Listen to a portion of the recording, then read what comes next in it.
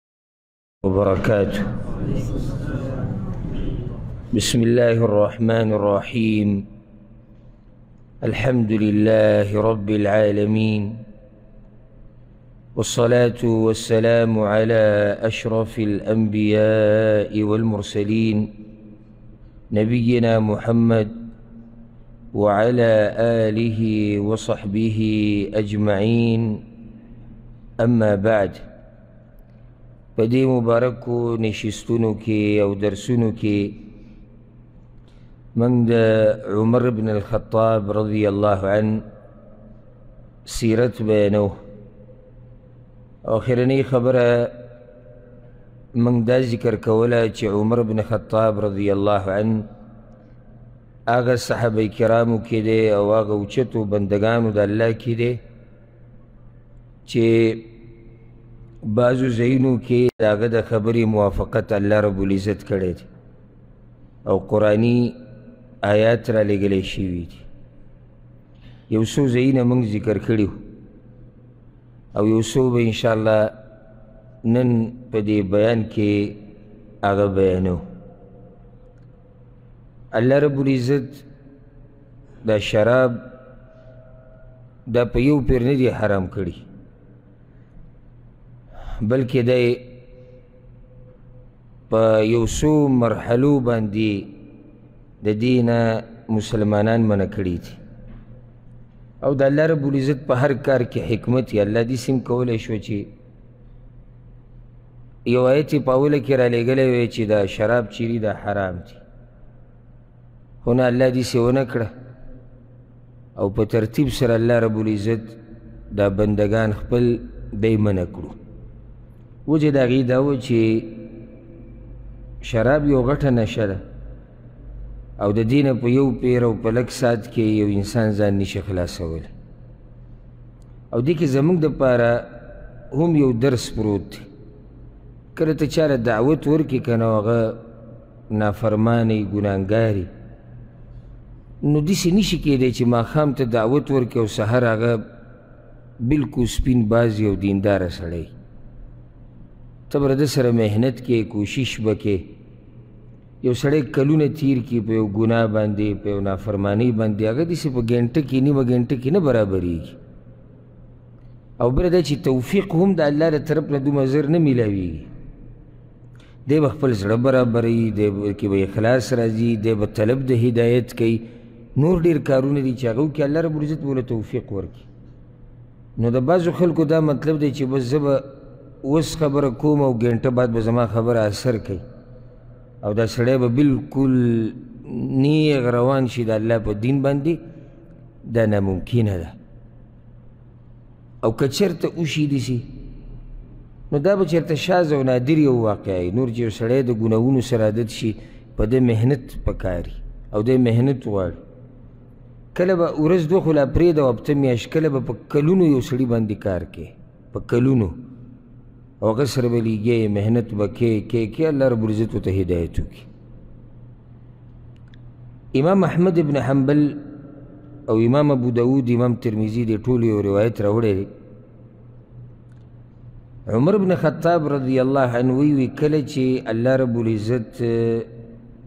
د شراب مبارک آیت راولېږو لما نزل تحریم الخمر کله چې الله رب العزت غوښته چې دا شراب حرام کی لا حرام کړی نو غوښته دا چې دا حرام کی نو عمر بن خطاب رضی الله عنه یو پیر دا خبره کړې وه همدقه ورځو کې وی اللهم بین لنا فی الخمر بیانا شفاء یا بیانا شافیه یا الله د دې شرابو په باره کې موږ ته واضح بیان راولېږه یعنې معنا ده چې دې دا قصه الله ختمه که بلکل نو الله وی سوره بقره هغه ایت راولېږو یسألونک عن الخمر والمیسر دوی تپوس کوي تا نه د سود او د جوارۍ په دوی تا نه تپوس کوي د شرابو او د جوارۍ په باره کې ته ورته ووایه چې په دې کې فایدې هم دي او په دې کې ګناه هم ده او ګناه یې ډېره ده اوس دې ځکه الله رب العزت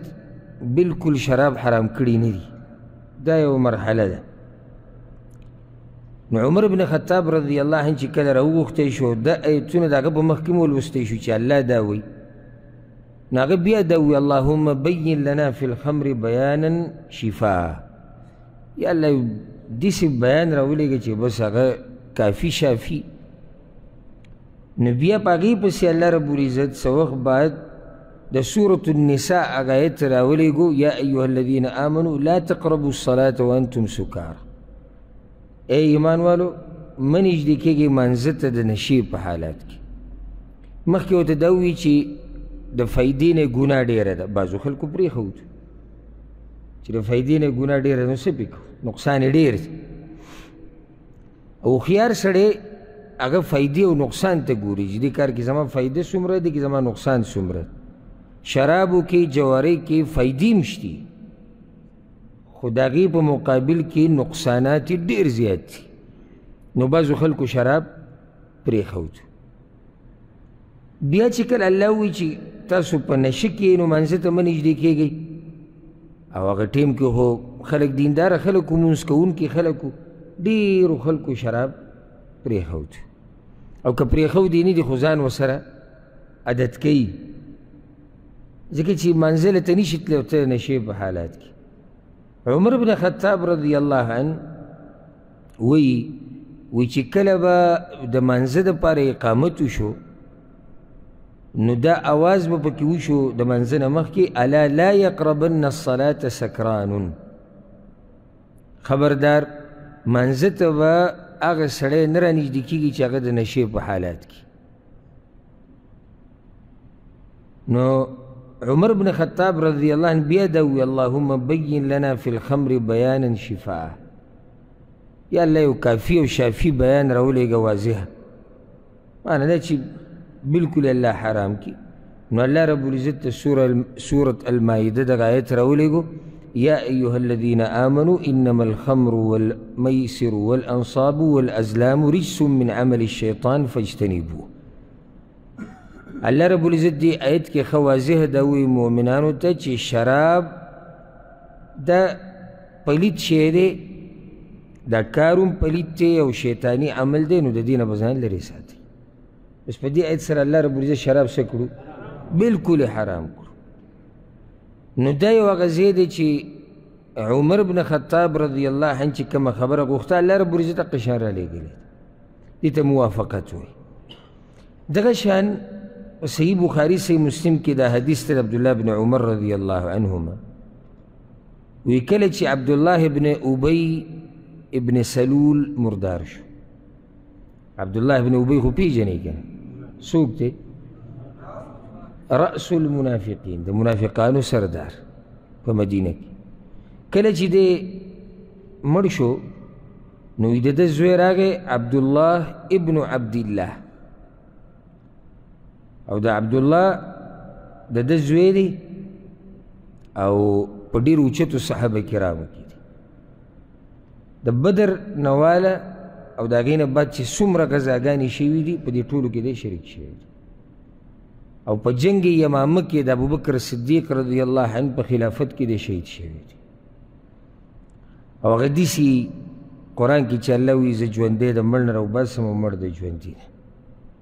یعنی پلار د منافقانو سردار دی زوی هغه صحابه کرامو کې دی چې الله د هغوی نه راضي دی او پلار کوشش کوي همیشه چې مسلمانانو ته نقصان ورسوي زوی همیشه کوشش کوي چې اسلام او مسلمانانو ته فایده ورسوي پلار غټ دشمن د رسول صلی الله علیه وسلم دی زوی غټ ملګری د رسول صلی الله علیه وسلم دی او هدایت ته الله په لاس کې کله داسې هم کېږي چې یو داسې کورنۍ کې دینداره سړی را پیدا شي او کله په دینداره کورنۍ کې بېدینه سړی را پیدا شي ځکه دا زړونه د الله دو ګوتو په منځ کې دي کوم طرف ته اړی راړي چېرته به د الله نه نه امیده کېږي نه او نه به د یو کس په باره کې دا اټل فیصله کوي چې یاره بس ده ته هدایت نه میلاویږي ځکه چې دی د بیدونو په منځ کې دی یا د ده پلار یا خاندان نه الله چې هدایت ورکي نو هغه هر چا ته نصیب کولی شي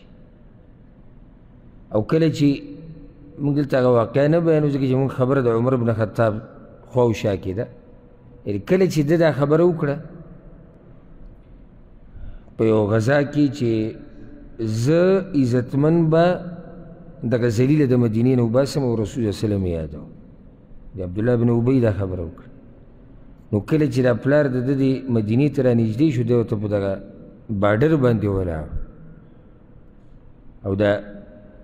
د تورې د پلار په دې اوږه داسې کېښود وایي زه به نن ګورم چې عزتمن څوک دی او ذلیله څوک دی ته زما نه دې مدینې ته د نخ پکې دی چې پته ولګي چې ذلیله ته که ذلیله د الله رسول دی نو بیا رسول صلی الله علیه وسلم ورته وایي زه پرېږدوي د هغه په درخواست باندې پلار پرېښ یعنې نه یې پرېښودو مدینې ته دننه ته څه وایې چې د الله رسول ذلیله دی او ته عزت منې دا هله کیدای شي چې کله سړي کې ایماني غیرت وي چې هغه نن سبا د ډېرو خلکو نه ختم شوی دی بچی او مال او ښځه او ملګري دا ډېرو خلکو ته د دین نه هم زیات قدرمند دي اګر که په خوله داسې نه وایي په خوله څنګه یو مسلمان دا خبره کوي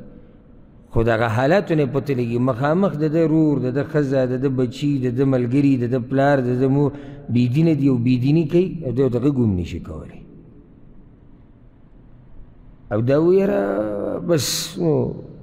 خو که به هر چا اخواله کړس کړوس وکړو د کفر فتوا پرې هم لګوي پردې که معمولي خو دې خو شي نو د کفر فتوه په علم لګي د دغه د دغه لپاره هر څه جایز دي چې کله ایمانی غیرت ته سړی نه ختم شي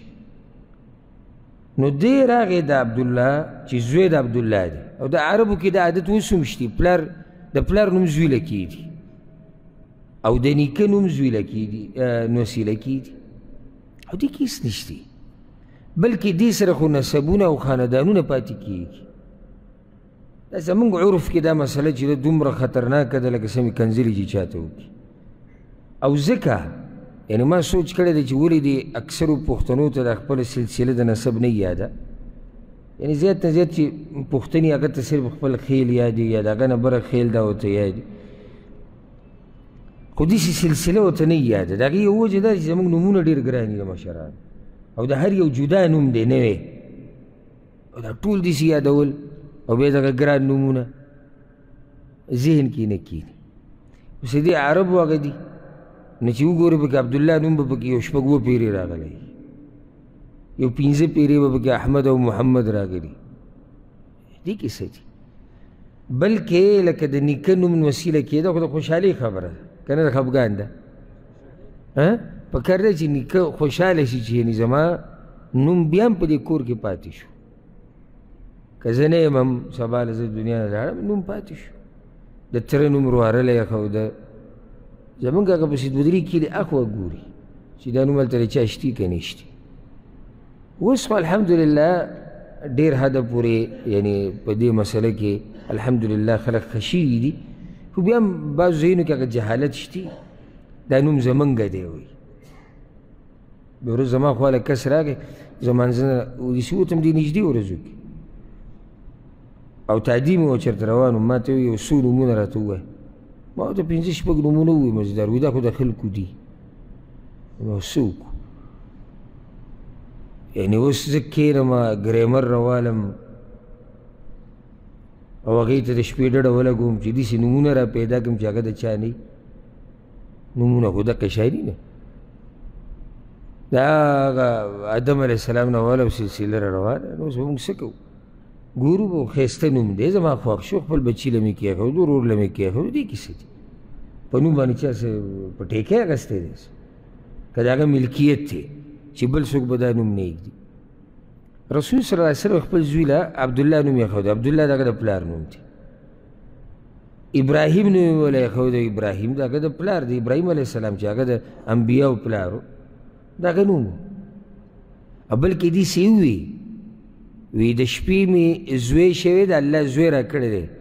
سمیته باسم ابي ابراهيم ما ور د خپل پلار ابراهيم په نوم نوم یې خو دی نه دا وسل تر پلار نوم عبد الله دی او د زوی نوم عبد الله اگر هغه پر رسول صلی الله علیه وسلم پسې وی رسول د خپل کمیس راکړي چې د پلار پکې کفن کړ بیا هم زوی دی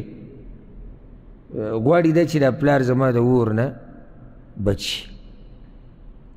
رسول صلی الله علیه وسلم وله ورکو اوس رسول صلی الله علیه وسلم ته دا پته دی چې په دې خو الله بخي نه خو دا حکمت دی د دې د لاسه به یو خو دا زوی د رسول صلی الله علیه وسلم ملګری دی نو د هغه سره یو ښېګړه ده چې دومره یو ملګري مطالبه وکړه او دویمه غټه فایده پکې دا ده چې د هغه په قوم کې ډېر منافقان و چې د هغه ملګري وو د عبدالله بن ابی ملګري نو هغه به متاثره شي نو صحیح ایمان به راوړي ځکه هر ځای کې د جذباتو نه کار ماله وردانګه مه هسې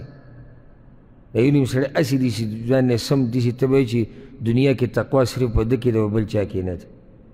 که معمولي څوک یو کار باندې ونی ډایرک بیا فتوا ولګي ما دې د کافرانو ملګری دی وي ښه دلته اوس رسول صلی الله خپل کمیس هغه چا له ورکوي چې هغه د منافقانو سردار دی پای کې حکمتونه دي دا نه چې له دغه سره محبت یا په دې عقیده نه دی ورکړی چې دې کمیس ته لاسه به الله وبخښي خو بیا دوی مطالبه هغه زوی ده وکړه چې جنازه پرې وکړي ته ظاهره کې خو عبدالله بن ابي مسلمان دی منافق معنی دا چې ظاهره کې مسلمان باطن کې کافر اعتقادي منافق دی ته رسول صلی الله علیه وسلم لاړ مانځله وي در بشه عمر بن خطاب راغی رسول صلی الله علیه وسلم یې صادر نه ونیو صادر دا یو طرف یې ودراونیو یا رسول الله تصلي علیه په ده باندې تاسو جنازه کوئ او ستاسو رب تاسو منع کړی یې رسول صلی الله علیه وسلم تیزه منع کړی نه مو ذکر الله منع کړی مال الله اختیار را کړی دی چې استغفر لهم او لا تستغفر لهم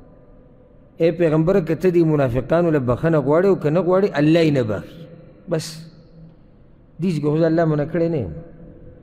خدای راته ویلي که غواړې بخنه وکړه نه غواړې ځای نه بخه د رسول الله سلم خبره صحیح ده دلته خو الله دا نه دي ویلي چې بخنه ولا مه غواړه که ته هر څه کې الله یې نه بخي بس او رسول الله سلم ولا دا د جنازې چې پکې دي کې حکمتونه یې دې لپاره نه هغه ته پته لري چې الله یې نه بخي عمر بن خطاب رضی الله عنه وی انه منافق یا رسول الله دا منافق دی او رسول الله سلام بیا مغه منځ وکړو فأنزل الله نو الله آیتونه راولېږل ولا تصلي على أحد منهم مات أبدا ولا تقوم على قبر چې په دې منافقانو کې څوک مړ شي نو نه به په هغې باندې د جنازې مونځ کې په هغه باندې جنازې مونځ کې او نه به قبر ته ودرېږي الله رب العزت منع کړو او دغه شان واقع امام بخاری هم راوړی عبدالله ابن عباس چې عمر بن خطاب ورغه او رسول الله وسلم ته وی اتصلي على ابن ابي وقد قال يوم كذا كذا وكذا يا رسول الله په دبني په دې منافق باندې تاسو موږ کوي د دا ویلي د دا ویلي دی اعدد عليه قوله رسول صلی الله علیه وسلم ته عمر بن خطاب وی وی رسول الله وسلم ته می داګه ویناګانې شمارلې چې ګورې ورځ د ستاسو باره کې دا ویلي والله باره کې دا ویلي وی فتبسم رسول الله صلی الله علیه وسلم رسول الله وسلم مسکی شو دا مسکی کېدل د ډیرو مسلو جواب دی یعنی اوس عمر بن خطاب رضی الله عنه خپل پورې خطرې چې موږ په مکه اولته الله منع کړی نه دی او زوی مطالبه کوي پکې حکمتونه ډیر دي سوچ هغه دغه طرف ته کې بس عمر له یعنی جواب په مسکی کېدو کې ورکو مسکی شو وته وی اخر عني اخواشت وی چې کله هغه د زور ډیر ولګو نو هغه ته دغه خبر وکړه عمره الله مال اختیار را کړی دی که بخښنه غواړي او که نه غواړي زه وله غواړم الله زمونه کړی خو نه نبی رسول الله سلم په جنازه وکړه او لاړ لږ سره بد دغه ایتونه نازل شو ولا تصلي على احد منهم مات ابدا ولا تقم على قبره دغه شان د عمر بن خطاب رضی الله عنه په باره کې یا د هغه د رأی په موافقت کې چې کوم ایتونه نازل شوي دي امام احمد یو حدیث راوړی د کعب بن مالک رضی الله عنه وی په اوله کې مسله د روجي دي سوا موږ بیان کړی وی څو پیرې چې یو سړی روژه ماتی وکړو اخو صحیح شو چې روژه ماتی وکړو د دې نه بعد د ده دپاره خوراک څښاک او بیبي او د هر څه څه شو دا جایز شو خو که چېرته یو سړي روژه نیولي او په ده باندې ماښام شو دی وده شوی دی چې وده شو حرم علیه الطعام والشراب والنساء حتی یفطر من الغد په ده باندې ښځه او خوراک څښاک حرام شو د سبا ماښامه پورې دا په اوله کې دا مسله دي چې اورېدلې مو که نه اورېدلې تفسیر په درسونو کې مو بیان کړی نو عمر بن خطاب رضی الله عنه یو بل صحابي و سرما ابن قیس سرما ابن قیس کور ته راغلی او ستړی و د پټي نه راغی او ښځې له خوراک تیاره وغوده شي چې ویده شوی دی بیا خو به سبا پورې انتظار کوي سبا له به بیا بېهوشي راغی الله رب العزت بیا آیت راولېږي او دقه شان دغه آیت د عمر بن خطاب رضی الله عنه باره کې هم راغلی چې عمر رضی الله عنه یو پیر د رسول صلی الله علیه وسلم د خوا نه لړ د شپې او د هغه سره شپې ډېر وخت تېر کړو چې کله دی کور ته ورغی نو غوښتی دا چې د ښځې سره میلاو شي نو ښځه اوده شوې وه او په هغه کې دا چې اوده شوې نو بیا سبا ماښام پورې به انتظار کړي نو ده ورته یې ته زه یعنې خپل حاجت پوره کوم هغې ورته نه زه اوده شوی او دوی په منځ کې دا خبره روانه وه او دی یعنې د خپلې ښځې سره حاجت پوره کړو سحر له بیا راغی په رسول صلی الله علیه وسلم پسې یا رسول الله ما نه خدا کار شي نو الله رب العزت آیتونه نازل کړو احل لکم لیلة الصیام الرفث الی نسائکم ستاسو لپاره جایز دي د روجو په شپو کې چې تاسو د خپلو بیبیانو نه حاجت پوره کړئ که وده شئ که نه وده شئ یعنې الله رب العزت هغه مسله هغه اسانه کړه دغه شان یو آیت په باره کې داسې ویل کېږي اګر که سند کې څه نه څه کلام شتي امام ابو داود دا روایت راوړی دی چې کله الله رب العزت عمر بن خطاب وویل کله چې الله رب العزت ته سورة المؤمنون دغه آیتونه راولېږل ولقد خلقنا الانسان من سلالة من طین الله وایي ما انسان د خټې نه پیدا کړی دی بیا د منۍ د قطرې نه او بیا دیسې او بیا د وینې ټوټه ده او بیا د غوښې ټوټه شو او بیا هډوکي او بیا هغې ته سرمن تفصیل هغه آیتونو کې شته سورة المؤمنون په اولني آیتونو ثم انشأناه خلقا آخر الله رب العزت وی د دې هر سنه بعد داغه نه ما یو بل مخلوق جوړ کو یو کامل انسان خیسته نو عمر بن خطاب رضی الله عنه دا وی چې کله دغه آیت ویلی شو دغه ځای پورې ویلی شو یعنی جبریل علیه السلام راوړو او دغه ځای پورې ووی چې کله وی نو هغه د ځان نه دا وی تبارک الله احسن الخالقین برکت والا دی او برکت اچونکی دی هغه ذات چې دومره ښایسته پیدایش کوي نو دغه آیت په دغه ټیم نازل شو جبرئیل علیه السلام وی فتبارک الله احسن الخالقین دغه شان د عمر بن خطاب رضی الله عنه مبارک کې په یو بل ځکه دا راځي یو روایت کې چې دا آیت من کان عدو لله و ملائکته و رسله و جبريل دا د د د په باره کې نازل شوی دی یا د د د یو مسلې په باره کې هغه تفصیلي قصه د موږ د تفسیر په درسونو کې ذکر کړې ده امام ابن ابي شیبه راوړې ده عمر بن خطاب رضی الله عنه یو پیر پسې یو څو یهودیانو پسې ورغی نو دی یهودیانو ته دا وی وی زه تاسو له قسم در کوم د الله په نوم هغه الله چې تورات په موسی علیه السلام را لېږلی دی هل تجدون محمدا فی کتبکم آیا تاسو محمد صلی الله علیه وسلم په خپلو کتابونو کې مومئ یعنې د ده تذکرې شتې ستاسو کتابونو کې هغه ورته یې نعم او چې دومره مضبوط قسم دې راکړو نو د دې پیغمبر تذکرې زموږ په کتابونو کې شتې نو فما یمنعکم ان تتبعوه نو بیا تابعداري ولې نه کوئ چې دومره تاسو ته پته لري چې دې سړي تذکره ستاسو په کتابونو کې ده نو بیا په کار سره تابعداري د هغوی دې جواب ته ګوره او دا جواب یې د کار نه زیات بدتري کله یو سړي نه غلطي وشي که نه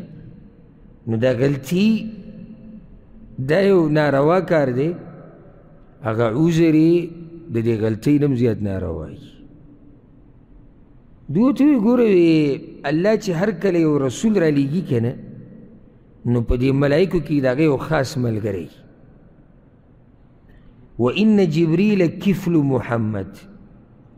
او جبریل علیه السلام د محمد صلی الله علیه وسلم خاص ملګری په ملایکو کې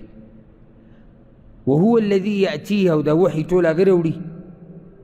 وهو عدونا من بين الملائکه او په دې ټولو ملایکو کې دغه زموږ دشمن دی ومیکائیل سلمنا زموږ ملګری په ملایکو کې هغه میکائیل علیه السلام دی که چېرته دې میکائیل وحي راوړی موږ به اسلام قبول کړی خو موږ چې د اسلام نه قبل وسه د لاسه چې وحي جبريل عليه السلام راوړي د عذر باره کې څه خیال دی ها یعنی تذکره د رسول الله صلی الله د دوی په کتابونو کې ده دوی ته مسله دا ده وی دا وحي جبريل ولې راوړي بیا ورته ده وویل د عمر بن خطاب رضی الله عنه وایي زه تاسو له قسم در کوم د هغه الله په نوم چې تورات یې رالیږلی دی په موسی علیه السلام د دې میکایل او د دې جبریل د الله په نس مقام دی نو هغوی ورته وي جبریل ښی طرف ته او میکایل ګس طرف ته نو عمر ورته وویې زه په دې خبرې ګواهي کوم چې دوی له الله دومره اوچت مقام ورکړی دی دا کیدی نشي چې میکایل دې ملګرتیا وکړي د هغه چا سره چې هغه د جبریل علیه السلام سره دښمني کوي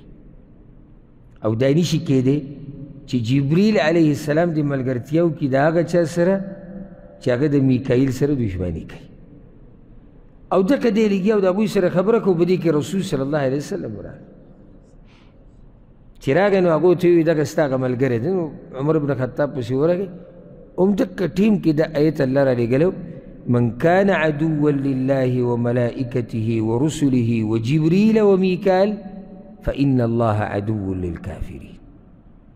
چې څوک هم دشمن د الله دی او د ملایکو دی او د رسولانو دی او د جبریل او د میکایل دی او ته دغو دواړو خبر روانه الله رب العزت د هغوی دشمن دی او په یو روایت کې داسې راځي عمر بن خطاب وایي دا امام ابن جریر دا روایت راوړی وایي زه به د عمر بن خطاب وایي زه به د دې یهودو د مدراس ته تلمه مدراس هغه ځي ته ویل کېږي چې د یهود به پکې راجمع کېدو د تورات به یې وي نو وي زه به تلم راتلم وخت په وخت نو ډېر تعجب به ما په دې کو چې تورات به تصدیق د قرآن کو قرآن به تصدیق د تورات کو نو یو ورځ ما هغوی زه د هغوی سره ناست وم نو ما هغوی ته دا خبره وکړه چې یاره دې خبرې زه ډېر په تعجب کې اچولی نو دا خبره ما هغوی ته وکړه چې زه تاسو له قسم در کوم د هغه الله په نوم چې د هغه نه بل څوک د عبادت حقدار نشته تاسو ته دا پته شته چې دا سړی یقیني پیغمبر دی او رسول صلی وسلم تیر شو داسې ویغلی شو جواب یې نه راکړو نو د هغوی چې کوم مشر په دې مدراس کې او کوم د هغوی ملا و نو هغه ورته ویلي قسم یې درله دومره مضبوط درکړو جواب ورکوي که نه تاسو غلي شو هغه ورته انت عالمنا و سیدنا ملا ته مشر ته ما ته وایي موږ ته وایي جواب ورکړه فعجیبه انت ته جواب ورکړه جواب ستا کار دی ملا خو ته نو د هغه مولوي صاحب ډېر ورار ورار دې کشران وراګیر کو چې تورات ته چې ته څومره خبرې دومره خو دې موږ نه یو خبر او ته جواب ورکړه که نو هغه عمر بن خطاب ته ووایي چې موږ له دې قسم راکړو د الله په نوم نو بیا جواب واوره فانا نعلم انه رسول الله دا موږ ته یقیني پته چې د الله رسول دی نو بیا ورته ما ووایي چې دا خو تاسو تباه شوئ وی نه موږ نه یو تباه شوي وی ما ورته چې څنګه تاسو ته پته لري چې د الله رسول دی منئ یې نه تصدیق یې نه کوئ هلاکت دا دی که نو دې مولوي صاحب یې دا وویې وی زمونږ په ملایکو کې یو لوی دشمن دی او یو پکې زمونږ لوی ملګری دی د دې سره چې په ملایکو کې الله کوم ملک ټل کړی دی هغه زمونږ دشمن دی نو ما ورته چې من عدوکم ومن سلمکم دا دشمن ستاسو څوک دی ملګری څوک دی وی عدونا جبریل جبریل علیه السلام زمونږ دشمن دی میکائیل زمونږ ملګری دی نو ما ورته چې وفیما وفیما عادیتم جبریل نو د جبریل سره دومره دشمني ولې ویغوی چې ان جبريل ملك الفظاظة والغلظة والإعسار والتشديد والعذاب دا هغه په ملایکو کې ملک دی چې د په موږ باندې عذابونه راوستي د موږ سره سختیانې کړي دي د موږ له تکلیفونه راکړي یعنی الله رب العزت چې تیر شو یهودو باندې دغه نه مخکې چې څومره عذابونه راوستي خو جبرئیل علیه السلام را لېږلی دی نو دوی ته دا خبرې ذهن کې دي او اوس ته هم دا ووایم یهودو ته اوس هم ټول تاریخ یاد دی هغه زموږ په شان نه دي چې خپل تاریخ یې هېر کړی دی زما او تا نه تاریخ یې هېر کړو په ټیک ټاک په فیسبوک په یوټیوب او مزدوري سهار ماښام یعنی زما غټ غم د مسلمان غټ غم هغه د سهار نه شپې پورې چې څنګه به یې دوه ریاله او زه به خېټه ډکوم او زما بچي او زما ښځه او بس غریب دقه یو ورد کوي لکه څنګه چې سهار ماښام اسکاري کنه نو د بازو هغه اسکارو په ځای ورد هغه د قد مزدوري ډوډۍ دنیا بچي خزه مزدوري ډوډۍ خزه بچي دنیا دا ورد تاریخ ختم دی یعنی اسی تجربو کې چې یو مسلمان راګیر کا ورور دې خورا شاسمات د اسلام تاریخ هو اسلام تاریخ نه غریب څه خبره او بدګماني بری چې موږ سره ډیر شي نه چې د اسلام تاریخ نه بنې خبره چې اسلام تاریخ څه دی څه کړي دي مسلمانانو او څه نه دي کړي نو د یهودو ته اوس هم ټول تاریخ یاد دی اوس هم دوی ته ټول تاریخ یاد دی او یو یهودي او پیر هغه بوډو چت کړی او په هغې لیکل کړي وي وی خیبر ستاسو اخرنۍ موقع وه به یې نه شي یعنی دومره دوی د تاریخ یاد دی چې خیبر کې څه شي وو د دې مسلمان نه تپوس کوه دا یهودی چې د خیبر نه دومره یریږي د خیبر کې څه شي وو ځه ته یې ووایه یهودي ته خو نقصان رسېدلی ورته یاد دي تا ګټه کړې وه ته بیان که تا څه چل کړی وځه څه چل شوی خیبر کې موږ د خیبر نه څه خبر یو او کله دې سوري چې موږ د خیبر سره سوې مو اوس خاصه په خیبر د مسلمانانو سره دی اخو یو تاریخ نو دوی ته دا ټوله قصه یاده و چې جبرئیل علیه السلام د عذابونو لپاره الله را لېږلی زموږ پلار نیکونو د په پلرونو او په نیکونو د عذابونو راغلي وي ځکه ورسره زموږ نه لګي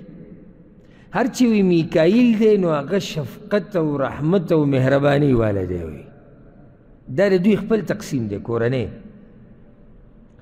وي بیا چې د دقه تپوس وکړو چې دوی زه د الله په نيز سره نه ويق جواب وکړو او لکه شان جواب ورکو الله غیتونه لګري قل من کان عدو لجبريل د دې په باره کې یو بل سبب نزول هم راځي او به د فایدې دپاره ذکر کو او سندن دا د هغې نه زوره ورته امام بخاري راوړی دی انس ابن مالک رضی الله عنه وی وی عبد الله ابن سلام عبد الله ابن سلام پیژنې دا د يهودو غټ عالم وی عبد الله ابن سلام رضی الله عنه خبر شو چې رسول صلی الله علیه وسلم راغلی دی مدینه ته وهو فی ارض یخترف او دې په خپل ځمکه کې دا میوه را شو کوله راغی پر رسول صلی الله علیه وسلم پسې چې څنګه خبر شو وته وی زتا نه د درې خبرو ته پوس کوم او دا درې خبرې صرف نبی ته معلومي ما اول اشراط الساعه د قیامت په دې غټو نخو کې دا کمی چې بالکل اخر اخر کې دي کې اولنۍ نخه کمه وته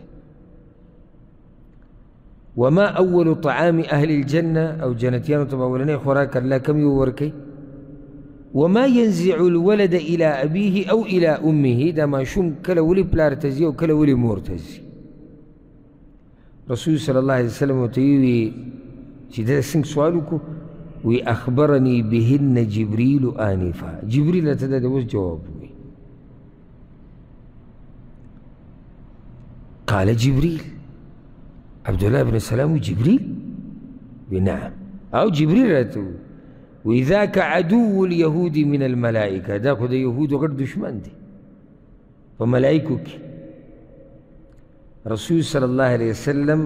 دا آیت وی دغه ټیم کې راولېږلی شو قل من كان عدوا لجبريل فإنه نزله على قلبك اے پیغمبر وایا هغه چاته چې د جبرئیل علیه السلام دشمنان دي چې جبرئیل علیه السلام خو د الله په اذن سره د قرآن ستا په زړه راکوز کړی دی د برې نه خبر چا راوړی دی جبرئیل علیه السلام راوړی بیا ول هغه جواب ورکو وی د قیامت په غټو نخو کې اولنی نخه دا ده چې یو اور به روځي او خلک به د مشرق نه مغرب پورې بوځي او اولنې خوراک چې جنتیان به خوري نو هغه زیادت کبد حوت د مهی د اینې سره چې کومه ټوټه لګېدلي زیاتی دا به الله خوری او چې د سړي اوبه په زنانه د زنانه په اوبو زوروري شي نو هغه هلک شي او چې د زنانه هغه زوروري شي نو هغه جنۍ شي نو عبدالله ابن سلام وی اشهد ان لا اله الا الله واشهد انک رسول الله په غزي اسلام قبول کو زه ګواهي د توحید ورکوم او د دې چې تر الله رسول خو یا رسول الله یو مسله ده ان اليهود قوم بهت یهود ډېر دروغجن قوم دی او سخت بهتانونه لګوي او که دوی ته زما د اسلام پته ولګېده که نه نو په ما به بهتانونه ولګي او دې کې یهود راغلي رسول صلی الله علیه وسلم ته ای رجل داسې فائدې لپاره به ذکر کړو واقعا وی ای رجل عبد الله فیکم عبد الله څنګه سره تاسو کې او ته خیرنا وابن خیرنا وسیدنا وابن سیدنا سردار دی د سردار زوی دی غوره انسان دی د غوره انسان زوی دی نو کې د اسلام قبول کړي به سوال وی اعاذه الله من ذلك الله دې هغه وساتي د دې ګمراهۍ نه په دې کې عبدالله ابن سلام راووت ټول یهود ولاړ دي د هغوی په مخ کې ګوی ورکړ چې ما اسلام قبول کړی دی نو هغه وی شرنا و ابن شرنا دا په موږ کې شري انسان او د شري انسان زوی دی دا په موږ کې جاهل او د جاهل زوی دی نن سبا هم دقه شان کې خلک ګورې ښه بعض مولیان ما لیدلي دي او عالمان چې هغه ول دي بیلتیانو ملګري نو هغو سره دومره اوږد نوم لګولی چې یو ریلګاډی یې نشي وړی پلانې او علانې او داسې او دغه او د اسلام ستوری او د دین سپوږمۍ او دا هر څه به الله رب العزت هغه ته صحیح عقیده نصیب کړي د توحید او د رسول صلی الله علیه وسلم تابعداري بیا وایي په موږ ټولو کې غټ جاهل دی کجوري واغستې او کمبلې ول راغلې او د کویت نه دینارونه راغلې او د سعودي عرب نه ریالونه راغلې دا اوس دومره کم عقلان دي چې ځان بدنامۍ دي سي چې تاسو کې چې کم تکړه عالم چې تا ته تکړه وي چې هغه په کمبلو ګډ وډ شو نو د نورو بس سهاري او نور خو بیا کیدی شي په ټوپۍ او په رومیال باندې کیسه پرېږدي ځکه چې هغه تکړه مولا چې پرونی تاسو صفت کو هغه په کمبل کمبل ته د هغه ایمان ټینګ نه شو کجورو ته دا له کوم ځای خبرې شوې نو یهودو کې دا صفت وګوره دومره وخت هم نه دی تېر شوی یو څو منټه دي عالم دی او د عالم زوی دی یو څو منټه بعد جاهل دی او جاهل زوی دی نو بیا هغه رسول صلی الله ته یا رسول الله زه له دینه یېرېدم ښه یو روایت کې داسې راځي امام احمد او امام طیالسي راوړی دی په صحیح سند سره عبدالله ابن عباس وی یو څو یهودیان د رسول صلی الله علیه وسلم خواله راغلي او وی رسول صلی الله علیه وسلم ته وی یا ابو القاسم حدثنا عن خلال نسألك عنها د یو څو خبرو مونږ ته نه تپوس کوو مونږ له به د هغې جواب راکړي او دا صرف نبي ته معلومې دي او ته صحیح خو دا یو خبره یاده کوي رسول الله سلم ورته وي که ما جواب د هغې درکړو نو ما سره به لوز کوي چې اسلام ته به راوړی او مسلمانېږي هغه ورته فذلک لک بس دقه زمونږ تا سره لوز شو بیا ورته رسول الله صلی الله علیه وسلم سلوني عما شئتم چې لوز مو کو اوس یې څه تپوس کوي ویې کوي هغه ورته څلور خبرې دي اولنۍ دا ده هغه کم خوراک و چې اسرائیل په ځان حرام کړی او د تورات د نازلېدو نه مخکې اسرائیل څوک دی یعقوب علیه السلام یعقوب علیه السلام کم خوراک په ځان حرام کړی او د تورات د نازلېدو نه مخکې دویمه ده ولې دا ماشوم کله پلار ته ځي کله مور ته ځي درېیمه ده د پیغمبر خوب څنګه او څلورمه دا په ملایکو کې ستا څوک دوست دی هغه ورته بیا هغه لوز رایت کو رسول الله وسلم وی تابعداري به زما بیا کوي که نه یا وه او مضبوط قسمونه او لوزونه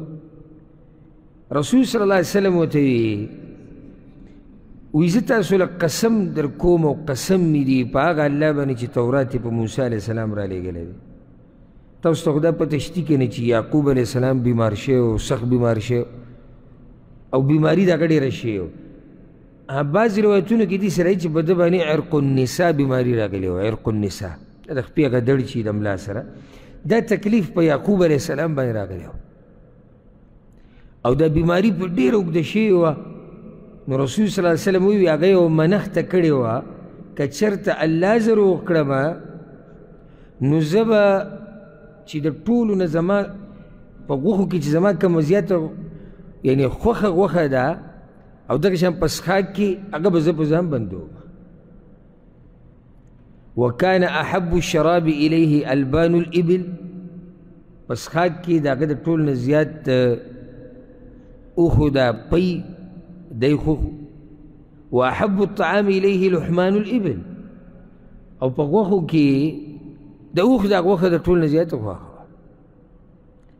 وی تاسو ته دې پته نشته ویا نو خو دغه په ځان باندې بند کړی وکړه رسول صلی الله علیه وسلم وی دغه شان وی دغه شان وی الله ته په گواش یوا دویمه تاسو ته دې پته نشته چې کله د سړی وبه د زنانه په وبو له پاسې شي نو هغه الکی او پلار تزي شکل کې اکثر او چې د مور هغه د پاسې شي نو جنۍ یې اکثر مور ته ځي داسې ده که نه ده هغه وایي داسې ده وایي الله ته پې ګواه شه دو دریم قسم ولا بیا ورکو تاسو دا پته نشتی چې د نبی د پیغمبر سترګې وده کیږي او زړه نه وده کیږي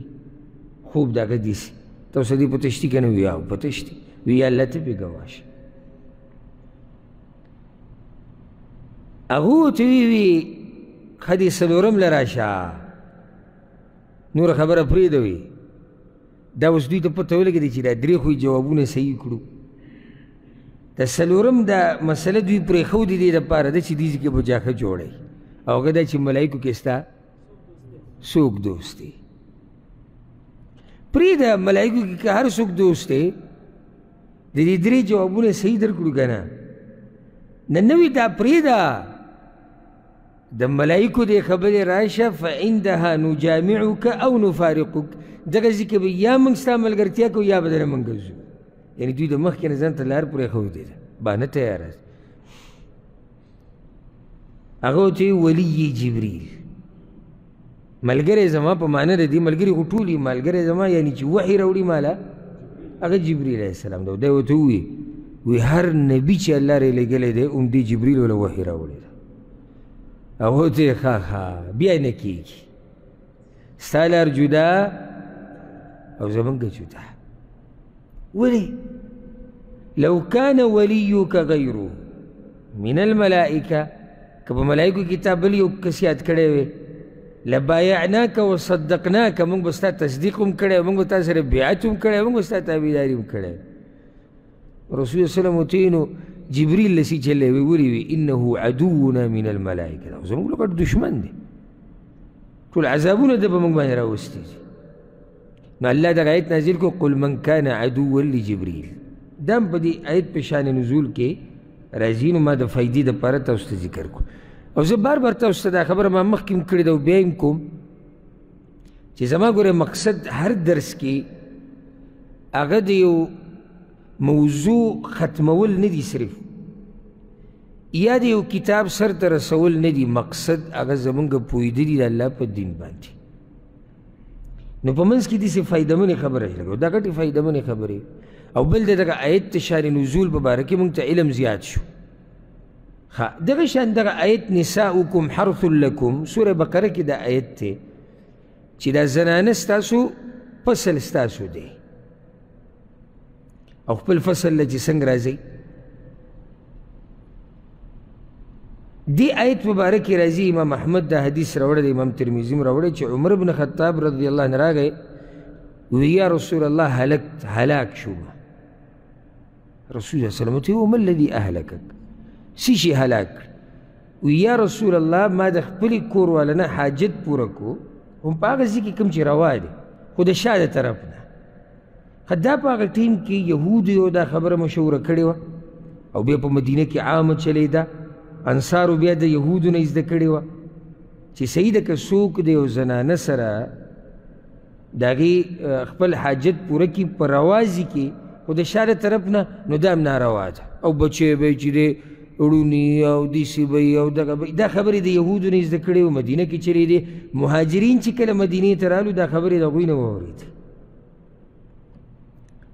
نو دی راغی پر رسول صلی الله علیه وسلم پسې وی رسول الله ما خو تبا شو ما خو دې څه کار کړی فلم يرد عليه شيئا نو هغه جواب ورنکو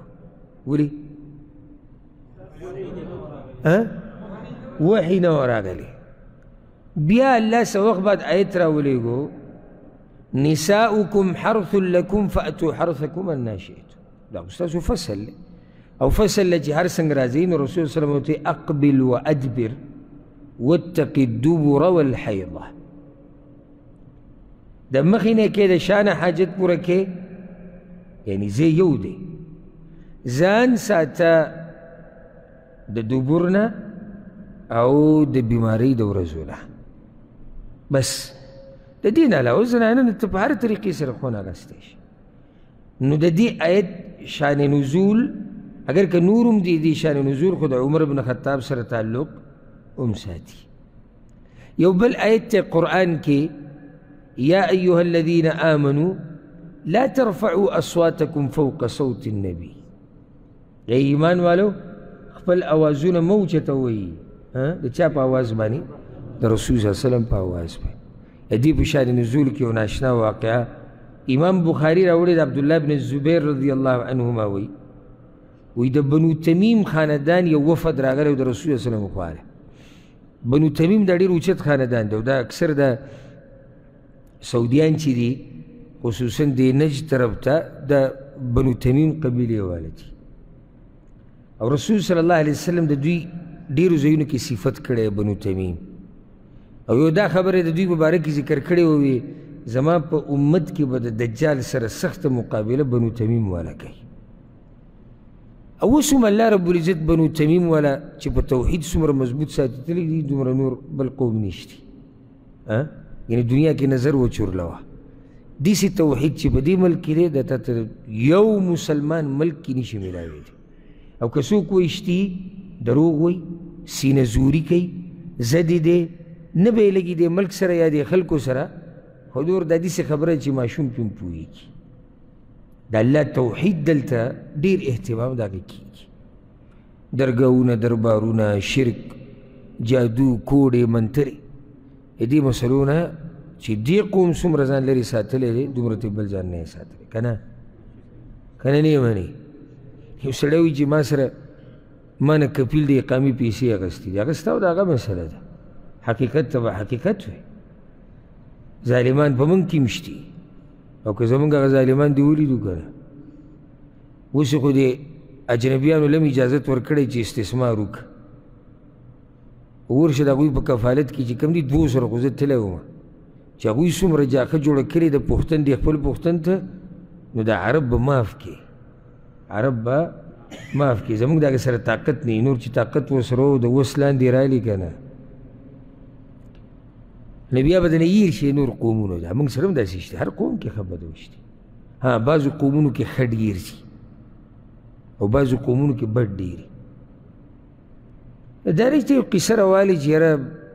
ما دې څه لیدلی ما یو ورځ یو کس سره لګیا وم توحید او د عقیدې یاره وي داسې اهتمام پکې ډیر د دې نشته دا پنسې بره ساتل دا اوس خبره ده زه خبره د عقیدې کوم او ولې مې زمونږ د ټول بره ساتي شي زمونږ هر نارینه بالغ چې کوم دی هغه پنسي د ګیټونه بري راشه مې ګزي په ځان پسې شاته راکاږي خو تا مې عزت راغستی زه درته وایم عقیده کې د دې خلکو په شان نشتی ماشوم د دوی په عقیده پوهې د دوی ماشوم په عقیده پوهې او زمونږ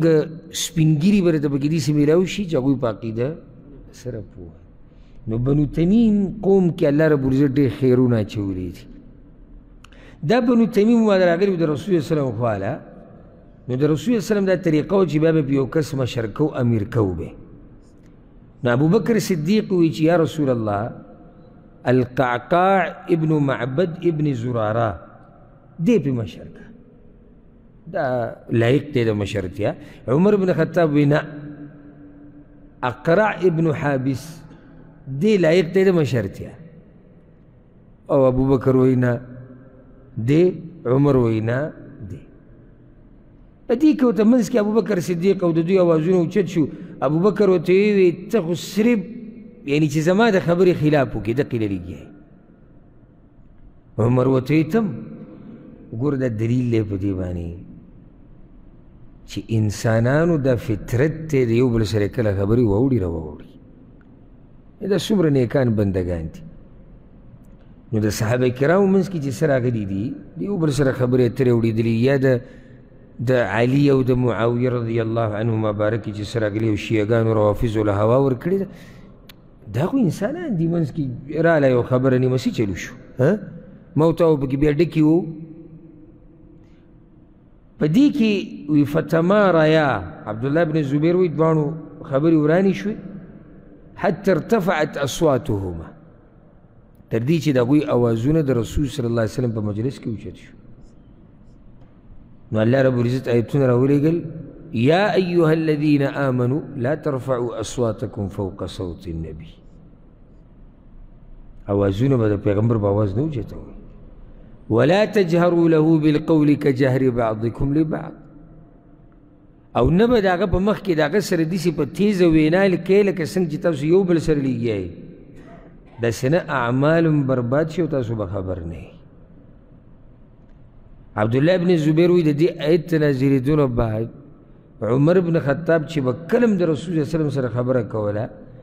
حدثه كأخي السرار لم يسمعه حتى يستفهمه حتى يستفهمه وی د دینه بعد چې بکلم عمر د رسول صلی الله سره خبرې کولې نو ډیر غلې بلګیاو په اول پیر له رسول صلی الله سره دغه په خبره نه پوهیدو چې سو پوری به دې ته پوس نو کړې ته سوي نبي هغه خبره لګه تیزه کړه او دې ته وایي او دا به راشي د عمر بن خطاب په دې سیرت کې چې ده به څنګه عمل کو په قرآن باندې دې ته وایي د مؤمن شان دا د مؤمن صفت صرف اورېدو والا نه مؤمن مؤمن اورېدو والی او عمل کولو والی موږ خو اکثر شوق د څه لرو د اورېدو چې زه خوشحال یم زه هم څوک یم زه خو ناست وم اوریده ورپسې د عمل ته پوښتنه وکړه عمل څومره دی او د ابوبکر صدیق مبارک هم راځي دا موږ د هغه په سیرت کې ذکر کړي چې هغه به بیا د رسول اسلام سره چې خبرې کولې نو ډېر غلی بری کیا دغه شان آیت الاستئذان آیت الاستئذان سورة النور کې چې هغه آیت دی چې الله رب العزت هغې کې دا خبره ذکر کړې ده چې ستاسو دا ماشومانان او ستاسو دا غلامان که هغه مری دی که هغه وینځه ده دوی به هم درې وختونو کې اجازه لري کم کم وختونه دي سهار د منځه نه مخکې ماسپښین ماسوته منځه نه بعد یو روایت امام ابن مندر رحمه الله راوړی دی عبد الله ابن عباس وی چې رسول صلی الله علیه وسلم یو پیر خپل یو خادم ولېږو چې هغه په انصارو کې و نوم یې و مدلج په عمر رضی الله عنه پسې ولېږو چې راویې غواړه مدلج چې کله لاړ په عمر بن خطاب پسې نو هغه وده او په ځان پسې دروازه بنده کړې وه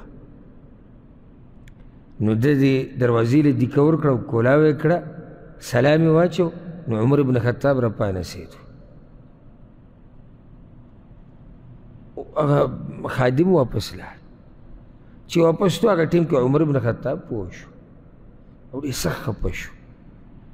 ځکه چې دغه ټیم کې هغه کمیس صادر چې د هغه غاړې ته یې ښودی سړی وده کېږي او انسان دی په خوب کې دی څنګه پروت و څنګه پروت نو په دې باندې ډېر زیات خفه شو او دا خبره وکړه وددت والله ان الله نهى ابناءنا وخدمنا ان يدخلوا علينا في هذه الساعه الا باذن یره ارمان چې الله رب العزت زمونږ د بچي او زمونږ د خادمان منع کړي چې په دې ټیم کې کوم ورننوځي اجازت وغواړي د یو څو ټیمونو اجازت لازم دی اگر نو اگر که په هغوی باندې اجازت اخیسته نه وو ماشوم دپاره اجازت نشتی خادم شو مری غلام شو خو دې درې وختونو کې بس د بیا ځان تیار را تیار کړو د رسول سلم خوا را ورغی رسول سلم ورته ویې ویل عمره ایتونه الله را لېږلي دي وایي څه دي دغه ایتونه ورته وویل یا الذین آمنو لیستأذنکم الذین ملکت ایمانکم والذین لم یبلغ الحلم منکم ثلاث مرات نو هغه د دې چې څنګه ارمانو الله رب العزت اقا شان ايتو راوليك دا عمر بن الخطاب رضي الله عنه فضيلت ځکه تیر شوي درس کې ما تاسو ته دا خبره کړې وه اخري درس کې چې د یو سړي د رایې سره الله رب العزت موافقت کې ښودل هم سره یي که او د ده به هم څه علم وي د ده به هم څه پوه او نن سبا خو یعنې د علم دومره کمی دی او د پوهې چې ډېره مشکل چې ته د یو سړي د رایې سره د یو مخلوق د رایې سره مخلوق موافقت وکړي نو سوچ وکړه چې خالق د یو مخلوق د رایې او د خبرې سره موافقت کوي نو دی به د څومره اوچت علم خاوند او د څومره اوچتې پوهې خاوند به عمر بن خطاب رضی الله عنه یو څو تپوسونه هم د رسول صلی وسلم نه کړي ایتونو باره کې امام مسلم یو حدیث راوړی دی علا بن امیه وایي وایي ما عمر بن خطاب ته ووایي چې د الله چې دا خبره کړې ده په سورة النساء کې او دا ګوره یاد کړئ دا چې کله قرآن په ترجمه او په تفسیر سړی پوهېږي نو دا سوال ذهن ته راځي الله وی سورة النساء کې فليس عليكم جناح أن تقصروا من الصلاة إن خفتم أن يفتنكم الذين كفروا اے ایمان والو تاسو په سفر کې مونږ قصر کولی شئ هیڅ خبره نه ده که چېرته تاسو یریږئ د کافرانو نه چې تاسو په فتنه کې واچئ معنی دا چې قصر به کله کې پوه نه شوي ما خو ته پښتو کې واضح وکړي چې کله کافران نه یېرېږي نو هغه ورته وویلي یعلا عمر بن خطاب ته وویل چې اوس خو خلک په امن کې دي اوس خو هغه یېره نشته نو دا قصر به بیا هم کوو په سفر کې نو هغه ورته عمر ورته عجبت مما عجبت منه زما زړه ته هم دغه خبر راغلی ده کومه چې ستا زړه ته راغلی و ما هم تعجب کړی چې اوس خو موږ په امن کې اوس خو نه یېرېږو یاره خو په اسلام په اوله کې وه نو لاړم په رسول وسلم پسې د هغه نه مې تپوس وکړو نو هغه راته وویې صدق تصدق الله بها علیکم فقبلوا صدقته دا یو صدقه ده الله رب العزت په تاسو باندې کړې ده نو صدقه قبوله کوي دا موز قصر کول سفر کې صدقه د چا ده د الله طرف نه نو دا صدقه قبوله کوي د عامو وختونو کې هم صدقه ده په تاسو یعنې خبره صرف د هغه وخت سره نه دی تړلی شوی چې کافر نه یېرېږي او ځکه بار بار مونږ وایو چې د علیم سره نه ناسته پوهېدی نه شي نه په قرآن او نه په حدیث یعنی اوس چې سورة النساء راوالی دغه آیت ترجمه ووې نو ذهن ته هم دغه مسله راځي چې الله وایي چې قصر تاسو کله کولی شئ چې کله د کافر نه هېرېږي وضاحت بیا د هغې د رسول صلی الله علیه وسلم په ژبه شوی دی رسول صلی الله علیه وسلم بیا د هغې وضاحت کړی دی دغه شان امام ترمیزي امام بوداود یو حدیث راوړی دی عمر بن خطاب رضی الله عنه چا تپوس وکړو د دې ایت په باره کې وَإِذْ أَخَذَ رَبُّكَ مِنْ بَنِي آدَمَ مِنْ ظُهُورِهِمْ کله چې د آدم علیه السلام د شانه الله د هغه ذریت راوویستو په عالم ارواح کې هغه تفسیر درسونه کې موږ د هغې تفسیر ذکر کړی نو عمر بن خطاب رضی الله عنه وایي وی د رسول صلی الله علیه وسلم دی آیت مبارک ته پوه شوی نو بیا هغه وضاحت ته دې آیت کو چې آیت کو چې څنګه الله رب العزت آدم علیه السلام پیدا کو او بیا هغه ته د هغه بچي وښو چې دا جنتیان دي او د هغه بچي ورته وښو چې دا څه دي دا جهنمیان دي نو عمر بن خطاب رضی الله عنه هغه انسانو چې وخت په وخت به د رسول صلی الله علیه وسلم نه د قرآن په باره کې تپوس کوو او څنګه باغه د رسول صلی الله علیه وسلم نه ته پوسونه نه کړي او هغه الله رب العزت دومره علم ورکړي را به شي ان شاء الله پر روان بیانونو کې تاسو به واورئ چې د عمر بن خطاب سره څومره علم او علم په تپوسونو سره ډېر زیاتېږي دا څه وحي نه کېږي ذهن ته چې وحي بکی کله حیران شم چې یو نیم کس ته کلونه پې تیر شم چې ته سوال وته را پیښ نه شي دا زمانه نه او چې کله یو سړي ډېر تپوسونه نه کول یا خو ډېر زیات پوهه دی ها او یا یا بالکل نه دی پوهه ځکه چې څوک هم په خبره پوه شي که نه نو د ده په ذهن کې د هغې د لاسه سوالونه پیدا کېږي د پوهې د لاسه سوال لاسي سوال هغه سړی کوي چې هغه پوه شوی په مسله باندې یاره چې دا مسله داسې شو نو دا به څنګه دا به څنګه دا د څه د لاسه راځي دا د پوهې د لاسه او اخره کې به یو واقع ذکر کو د عمر بن خطاب رضی الله عنه د بل یو صحابي سره هشام بن حکیم رضی الله عنه او دا په صحیح بخاري صحیح مسلم کې دا قصه ده چې عمر ابن خطاب رضی الله عنه دا خبره عمر ابن خطاب په باره کې راځي چې هغه یو پیر د هشام ابن حکیم نه تلاوت واورېدو په منځ کې لګیا او سورة الفرقان وی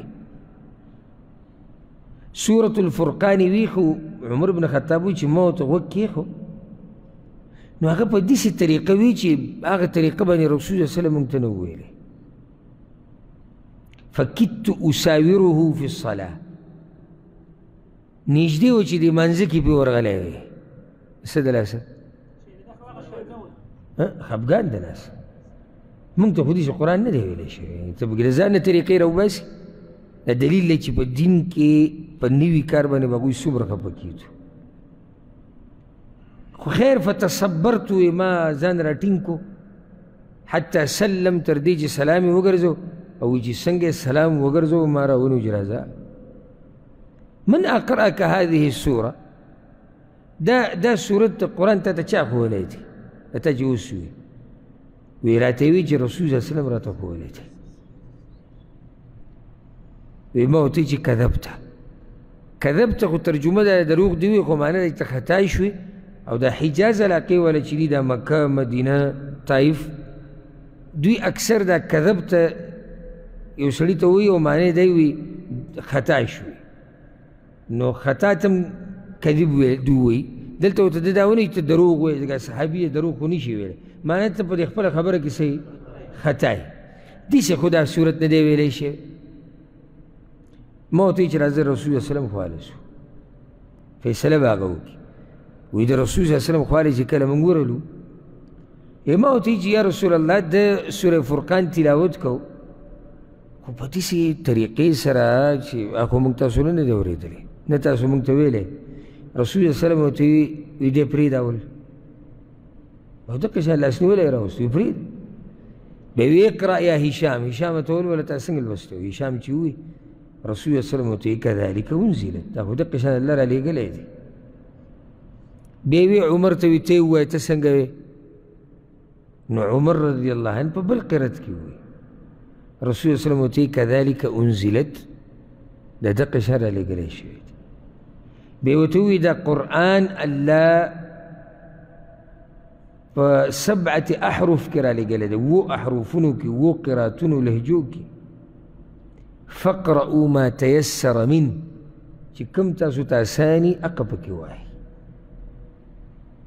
قرآن قرات خو به تاسو ته اورېدلي که نه نن سبا خو ویډیوګانې او انټرنیټ د عام شوی د مخې له هم چې ته راغلي نو په دې کې قراءات او سړی ته خپل د علم کمی اله محسوس شي که نه چې هغه کوم قرت چې مشهور دی دا مونږ چې پې وایو امام حفظ ته قرت چې یو سړي له دا ویل نه ورځي نه پاتې لا نور قراتونه څومره دی لرې پاتې شوی دی قرآن کې و قراءات لس قراءات قرآن کې قراءات چې الحمدلله د دې نه ګوره یو دا مسله هم راووته چې کومه مسله ثابته وي په یو طریقو یو کیفیت دوو دریو سره نو په هغې کې چې په هر باندې په هر یو باندې عمل وکړي هغه صحیح دی بله مسله ترې دا هم راووته چې کله اختلاف راشي د دوو کسانو په منځ کې او د دواړو سره دلیل وي د دواړو دا خبره ثابته وي نو په دې اختلافاتو کې څوک په یو بل باندې د بدعتي ټاپه نه لګوي نه د یو بل مرۍ ته دانګي نه یو بل ته کافر او مرتد وایي نه ځکه چې د هغه دا خبره هم ثابته ده او دا هم ثابته ده چې په کومه باندې عمل کې اسانتیا ده د الله له طرفه هغه اختلافات نه یادوم چې بې بنیاده وي بې دلیله وي په زور اختلافات جوړ کړي د هغې خبره نه کړو هغه ویم چې هغه په دلیل بنایي او دواړو طرفونو ته خبره ثابته وي نو په هغې کې خبره جنګ جګړې ته به ونه دي پکار په مینه محبت سره یو بل ته وضاحت پکار دی چې وروره دغه طریقه هم ثابته ده او دا طریقه هم ثابته ده الله رب العزت دې موږ پوه کړي په دین باندې او انشاءالله باقي سیرت ډېر پاتې دی او هغه به بیانو انشاءالله په روان درسونو کې ما ته ښکاري چې یو بیان دوه به پاتې کېدی شي یا یو بیان د دوره تفسیر نه مخکې نو بیان دوه چې څومره کېږي هغه به پکې بیان کړو انشاءالله بیا به د سیرت ته سلسله که الله ژوند راکړو د رمضان نه بعد به پوره کوو د عمر بن خطاب الله رب العزت چې موږ د دغه نیکانو خلکو په نقش قدم روان کړي او الله رب العزت چې زموږ حشر د قیامت په ورځ د دوی سره وکړي او الله رب العزت چې موږ او څوک چې دا بیان اوري ویني الله دې موږ ټول د دې نیکانو خلکو سره په جنت الفردوس کې یو ځای کی هذا والله اعلم وصلى الله وسلم على نبينا محمد